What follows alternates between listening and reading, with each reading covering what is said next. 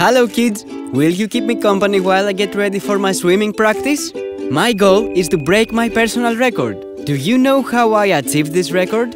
It's a story about an unforgettable weekend and my two new friends. A little while ago, I participated in the regional swimming finals and came first. And I even made a new personal record. I felt so proud when I climbed on the podium. Not only was I the winner, but I also qualified for the Pan-Hellenic swimming competition that would take place in Athens. Imagine how amazed I was when Mr. Stavros announced that the prize would be one final practice session with our champion Yannis Drimonakos. I really admire him for having been one of the best swimmers in Europe. When I grow up, I wish to become a champion too.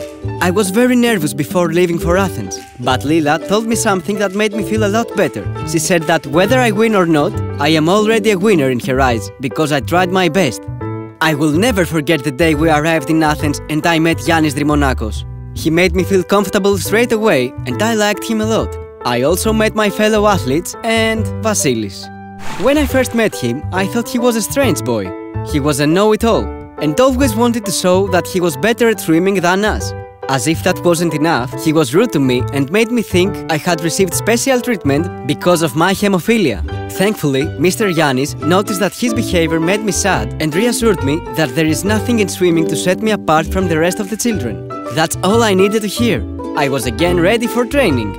I realized that I was very lucky to have met him, because thanks to him I continued training and did my best.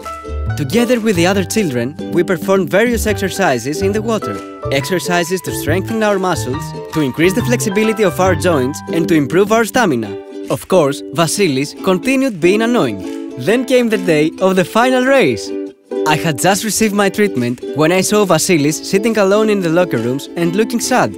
When I asked him what was wrong, he told me that he didn't want to compete because he was afraid of losing. Then I remembered what Lila had told me.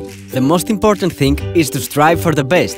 When I told Vasilis, his mood improved and he decided to compete.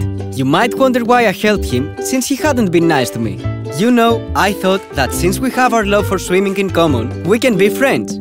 There is nothing to argue about. In that moment, I had made a new friend, so we competed against each other in fair play. And the winner of the race was Vasilis. I was happy for my friend as he really deserved the first place. And he came to thank me right away. He's a very nice guy after all. As for me, I came third. I must confess I was a bit disappointed. But then Mr. Yannis approached me and told me I made a new personal record. He even congratulated me. However, something was still bothering me. I didn't manage to come first and become a champion like him. When I told him, he answered that being a champion has nothing to do with winning medals, but instead, it's about the way one faces life. To him, he said, I'm already a champion, because I trained hard, I competed in fair play, and I helped my fellow athlete. Then, he gave me a wonderful gift, a swimming cap to remind me of that moment every time I swim. That weekend, I learned two important lessons. That we shouldn't rush to judge others, and that the more we try, the better we get, and the more we achieve. Kids, don't forget to subscribe to my YouTube channel to get instantly notified whenever I upload a new video. And as always, I will be waiting for you at my website abouthemophilia.com.